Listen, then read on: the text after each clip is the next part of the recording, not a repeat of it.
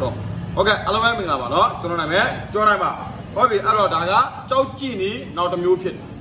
ဟုတ်လားအတုအစစ်ဘယ်လိုခွဲမလဲဆိုတာနောက်တစ်မျိုးကျွန်တော်ဆက်ပြီးကြဒီကြောက်ကိုကျွန်တော်ကြည့်တဲ့နေရာမှာနံပါတ်1ကအယောင်3ယောင်မြင်နေရတယ်အဖြူမြင်ရမယ်အဝါမြင်ရမယ်အစိမ့်မြင်ရမယ်သုံးနည်းဖြစ်နေဟုတ်ပြီဒီကြောက်ကအတုအစစ်ကိုရိုးရိုးရှင်းရှင်းကျွန်တော်ကြည့်ရမှာပါလို့ဆိုရင်သူ့ရဲ့မျက်နှာပြင်ကိုကျွန်တော်ကြည့်ရမှာ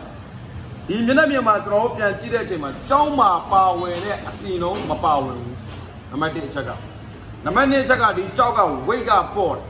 နံပါတ်2အချက်ကဒါကဘာလဲဆိုရင်ချက်ကြောက်ဒီကြောက်ကိုကြိုချက်တယ်ချက်ပြီးတော့မှဒီထဲမှာဆေးသွင်းတာဒီအစိမ်းရောင်ကဆေးသွင်းကြောက်ဖြစ်တယ်ဒီမှာပါနေအယောင်ကာတာလေးရတယ်ဒါတွေဆေးသွင်းတာပြအဲ့တော့ဒီဘက်ဖုန်းမှာကျွန်တော်အရင်ပြပေးမယ်ပြဒီမှာတစ်ချက်တော့ကျွန်တော်ကြည့်ရဒီလိုလေးဘေးတိုင်လေးပြထားတဲ့နေရာမှာအထဲမှာဆိုးလေးနဲ့ဆွဲပြီးဒီထဲမှာကြည့်လိုက်အစိမ်းရောင်လေးပါဝင်နေတာကိုကြည့်လိုက်ကျဲနေတယ်အစိမ်းရောင်လေးကနော် ဒီဘက်မှာကျွန်တော်ပြန်ကြည့်လိုက်အစိမ်းရောင်တစ်ချက်ပြန်ကြည့်လိုက်အထဲထဲမှာအယောင်ကကျဲတယ်ဆေးသားတွေကျဲတယ်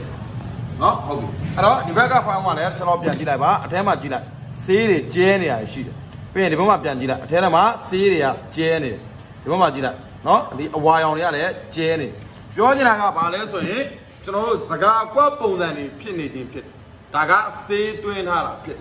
နော်ဒါကြောက်အတူကြည့်နေတဲ့မှာ ဒါလည်းအရေးကြီးတယ်ဒါလည်းကြောက်အတူကြည့်နေတစ်မျိုးဖြစ်ပါတယ်ကျွန်တော်ပြောတဲ့ဟာလေးတို့နားလေသဘောပေါက်မယ်လို့လည်းကျွန်တော်ညွှန်လင်းပါတယ်ဗီဒီယိုဖိုင်ကိုကြိုက်နေတဲ့မှာဆိုရင် like and share နဲ့လုပ်ပေးပါနောက်တစ်မျိုးထပ်ပြီးတင်ပေးမယ်ကြောက်အတုအစ်စ်ကိုဘလို့ဆက်ခွဲအခုကတော့အတုအကြောင်းပဲပြောပြတော့မှာဖြစ်ပါတယ်ပထမဗီဒီယိုဖိုင်မှာလည်းအတုအကြောင်းပဲပြောထားတာအခုဗီဒီယိုဖိုင်မှာလည်းအတုအကြောင်းပြောပြတာနောက်တစ်ခုဒီလိုအတုတွေကကြတော့မြန်မာငွေနဲ့ပြန်တွက်မှဆိုရင်တောင်းကနေပဲတန်ပါတယ်ဒီကြောက်တဲ့အကယ်လို့ကြောက်စိမ့်စစ်ခဲ့မယ်ဆိုရင်သိန်း9000နဲ့လည်းမရဘူး